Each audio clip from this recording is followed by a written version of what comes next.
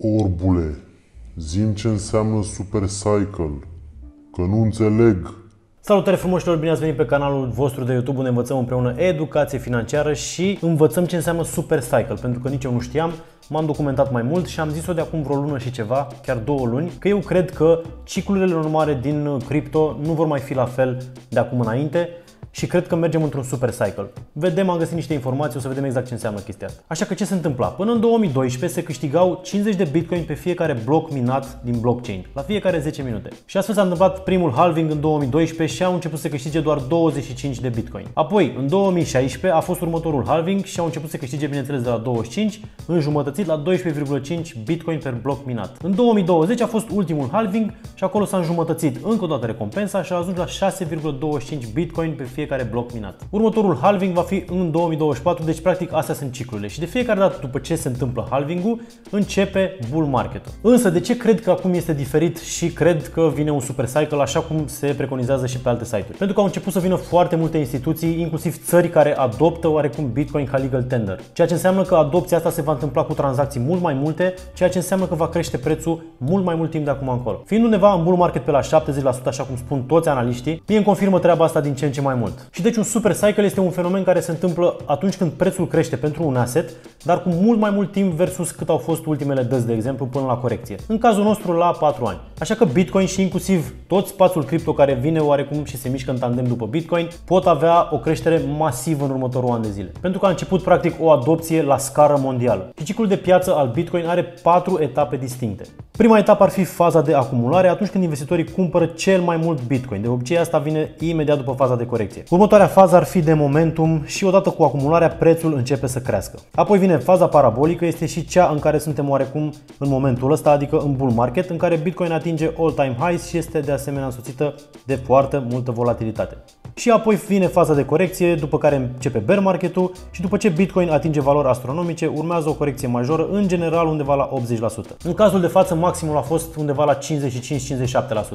Deci, oarecum mai este loc de scădere dacă este posibil să vină un bear market, dar așa cum spuneam, dacă vine un super cycle, bear marketul de 2 ani jumate în medie cât era înainte, nu prea mai are relevanță. Știți că am mai vorbit și de toată treaba asta cu El Salvador, care a adoptat Bitcoin ca legal tender. Ce înseamnă chestia asta? Adică a băgat Bitcoin ca monedă de schimb legală, exact cum este și dolarul la ei în țară. Așa că toată lumea va putea primi salariul în Bitcoin, inclusiv businessurile vor trebui să accepte plata cu Bitcoin și inclusiv băncile sau statul trebuie să accepte taxele în Bitcoin. Dar pe lângă asta, președintele Salvadorului a anunțat că fiecare cetățean va primi 30 de dolari în Bitcoin prin aplicația de wallet națională Chivo sau Shivo Wallet, habar n-am cum se citește, iar aplicația va fi disponibilă în septembrie când legea care face Bitcoin Legal Tender va intra în efect. Asta înseamnă că o alocare de aproximativ 120 de milioane de dolari pentru 4,5 milioane de adulți se va întâmpla și va oferi practic un boost numărului de useri Bitcoin cu 2,5%.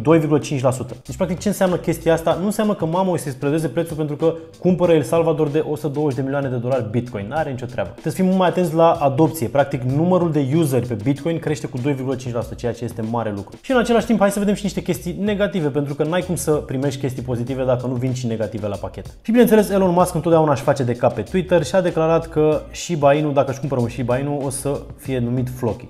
Ah. Deci dacă postează despre Bitcoin nu e bine. Dacă postează despre Shiba Inu, tot nu este bine despre Bitcoin. Mi se pare mie că lumea a început să ia puțin randeaua cu tweeturile lui Elon și despre orice postează Elon este grav despre Bitcoin. Nu are nicio legătură, nu știu cum asociază lumea chestiile astea, dar mă rog, trecem mai departe. Se pare că Binance nu este regulat în UK sau regularizat sau reglementat, nu știu. FCA doar ce a anunțat că Binance nu are autorizație de funcționare pentru a conduce activități în UK, la o zi după ce Japonia a constatat un lucru similar. Iar Binance a anunțat într-o serie de tweet-uri că acest lucru nu afectează în niciun fel activitățile exchange-ului pentru clienții din UK. Este ca și cum ar veni autoritatea din New York să-mi zică mie, bă, tu nu ai autorizație de funcționare pentru cafeneaua ta în New York. Păi da, da, eu vând în Constanța, ce treabă are? Păi da, da, noi avem cafea și în New York. Ok, o să încerc să o iau de la voi, mi-o dați? Nu! Deci, ca și celelalte faduri, mi se pare că este încă unul care e menit oarecum să țină prețul Bitcoin jos. Și pe mine mă bucură extrem de mult, pentru că pot să vin cu dollar cost average cât timp prețul stă acolo jos. Pe mine mă bucură foarte mult, deși pentru alții poate care au cumpărat de mult și le-a crescut portofoliul și acum le-a scăzut masiv, mai aveți răbdare, nu știu, pentru mine este ceva minunat. Poate o să fac un vlog explicativ până în măduva oaselor, pentru că eu am înțeles ce este, pentru că am, am stat undeva la 350 de ore și am făcut research și am făcut niște cursuri ca să înțeleg exact ce înseamnă assetul ăsta digital și bineînțeles tot ce vine după el, care oarecum sunt aplicații în cripto, nu sunt store of value în cripto cum este Bitcoin. Și m-am uitat inclusiv în ultimul an la toate asseturile de pe piața mondială și am văzut cum Bitcoin începe să le demonetizeze exact ce zice și Michael Saylor și n-am înțeles la început când o spunea și o să vă dau un exemplu de calcul. Hai să luăm un milion de dolari ca investiție ca un portofoliu. Pot să fie inclusiv 1000 de dolari, dar le iau un milion ca să putem să vedem niște cifre mult mai mari, ca să vedem cum se expandează oarecum portofoliu și cum Bitcoin demonetizează tot portofoliul. Deci să zicem că avem un milion de dolari și avem portofoliu împărțit astfel.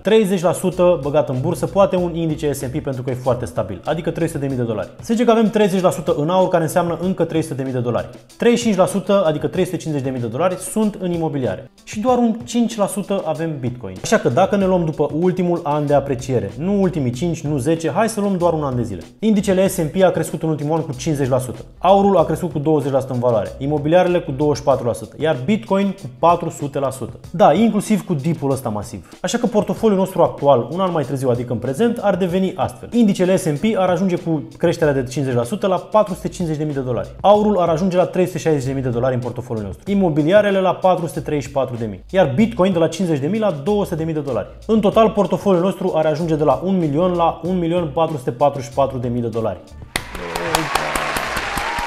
Bravo nouă, ne-am îmbogățit! Dar hai să trecem mai departe să vedem cât înseamnă practic Bitcoin acum din portofoliu.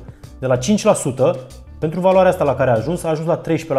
Deci gândiți-vă că toate celelalte, ca să mergem la 100%, au scăzut. Chiar dacă s-au apreciat în valoare și am câștigat mai mulți bani, ele din portofoliu au o valoare mult mai mică acum în procente. Dacă luăm ultimii 5 ani de apreciere, nu vreți să știți cu cât a demonetizat Bitcoin un portofoliu de genul ăsta. Ce credeți? Dacă luăm următorii 5 sau 10 ani, se va întâmpla în continuare treaba asta? Da sau nu? Lăsați un comentariu. Am mai tot vorbit despre active și pasive și v-am explicat și știți și voi cred că care este diferența între ele. De exemplu, un apartament pe care eu îl cumpăr și îl dau în chirie este un activ, adică produc bani cu el, iar activul ăsta se apreciază în timp. Se pare că în ultimul an cu 24%. Dacă cumpăram aur, de exemplu, de 10.000 de dolari pentru că nu aveam bani să cumpăr un apartament, același lucru. Îl țineam pur și simplu ca store of value, însă nu aveam cash flow de la el, dar se aprecia cu 20%.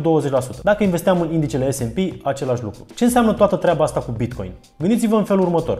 Eu dacă vreau să-mi pun în momentul ăsta un asset pe firmă, unde mai am, nu știu, niște locații în Horeca, niște cafenele să zicem, a, chiar am, ok. Dacă vreau să cumpăr niște apartamente să le am ca aseturi acolo, ca să măresc oarecum valoarea companiei. Dacă vreau să investesc într-o flotă cu mașini electrice pe care să le dau oarecum la închiriat. La fel, activele astea cresc valoarea companiei. Dacă vreau să cumpăr un kilogram de aur, același lucru. Trebuie să pun pe balance sheet și valoarea companiei o să depindă oarecum și de aurul ăsta. Sau poate vreau să-mi creez un portofoliu de genul ăsta în interiorul companiei. Poate am o firmă micuță de făcut reclame luminoase. Ce fac dacă am decât 300 de dolari prima oară de investit? Cum pot să ajung eu cu bănuții ăștia micuți la un portofoliu de genul ăla? Cum aș putea eu să cumpăr un apartament, de exemplu? Poate pot să cumpăr maxim jumătate de bai dintr-un apartament de bani. Nici măcar. Ce se întâmplă, de exemplu, dacă am cumpărat 10 apartamente și le-am băgat pe firmă și le dau și la închiriat, dar am nevoie de lichiditate mare la un moment dat și nu am cum să fac decât să vând un apartament întreg. Poate am nevoie doar de 15.000 de dolari, așa că trebuie să vând de 75.000 un apartament. Ce fac cu restul 60? Așa că Bitcoin, la capitolul ăsta, rezolvă problema pentru că este foarte, foarte divizibil. Pot să vând Bitcoin de 15.000 de dolari, am rezolvat problema de lichiditate pe termen scurt și n-am sacrificat restul de 60.000. Pentru că din moment ce am lichidat apartamentul și am rămas cu 60.000 de dolari,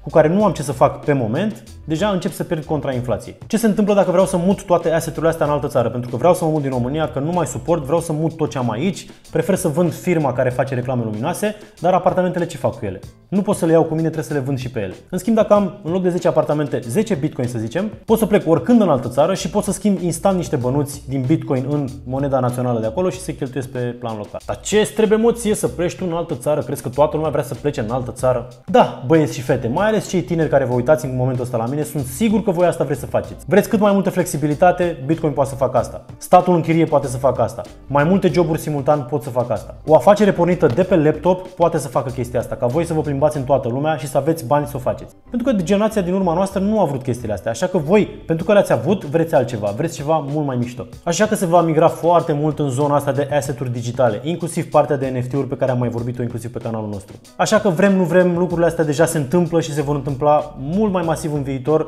cu o adopție mult mai exponențială și practic cât de ușor este să ții un asset digital direct pe telefonul mobil, fără să stai prin bănci, fără să zici, mamă, e weekend și nu poți să schimbi nimic, fără să trebuiască să vinzi un apartament întreg atunci când ai nevoie nevoie de lichiditate. Și aplicabilitatea asta poate fi sau poate deveni foarte, foarte diversă, mai ales în viitor. Așa că, după părerea mea, pentru că am spus-o și acum vreo două luni de zile, cred că o să fim într-un super cycle care nu se va termina prea curând, pentru că s-au schimbat foarte mult detaliile pieței și văd că adopția devine din ce în ce mai masivă la nivel mondial. Și aici nu vorbesc, bineînțeles, doar de Bitcoin. Așa că, frumoșilor, ce părere aveți? Puteți să lăsați un comentariu. Dacă vreți să lăsați și niște întrebări, sunt sigur că o să pot să fac niște clipuri mai încolo explicative. În descriere o să aveți o grămadă de dealuri pe care puteți să le folosiți ca să vă educați mult mai mult, pentru că practic despre asta este vorba, nu despre investit neapărat, cât despre educație înainte să investim bani în ceva. Mersi că v-ați uitat până la final și lăsați un like ca să facem puțin albastru, pentru că vrem să ducem informațiile și mai departe, să ne educăm cu toți în România, fie că ne place, fie că nu ne place cripto, măcar poate așa găsim ce ne place împreună. Așa că pe data viitoare, Pa, pa.